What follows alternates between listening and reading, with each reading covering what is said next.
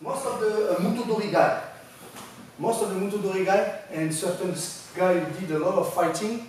They had uh, back in the days in Japan, 16th, 17th century, they check how many scars they have on the hand because there were people who can catch the blade during the fight in the dark. So if you have many scars, means that that the kind of man who knew what he's talking about. And actually, everyone knows, you know, the seven magnificent or whatever. You see what he said?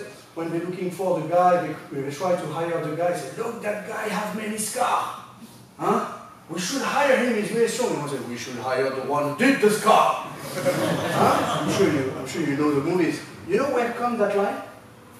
That can come directly from the uh, Seven Samurai from Akira Kurosawa. You, you okay for that? Everyone knows. It's the same thing, you just put it in a western.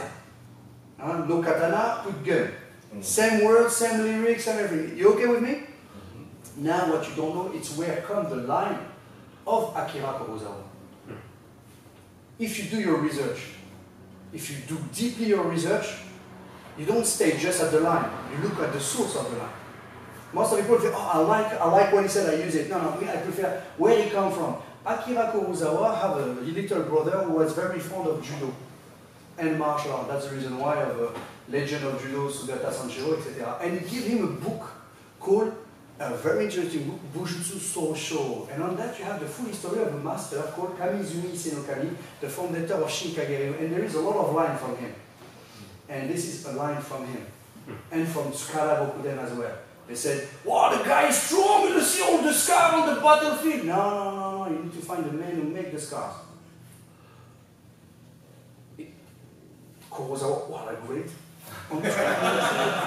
this is very important to know. But now, back in the history, speaking in the Ittoryu, for example, in another uh, school called Kobe most of the masters, because they, have, they learn to catch the blade, or sometimes the blade come like this, but they catch it like this.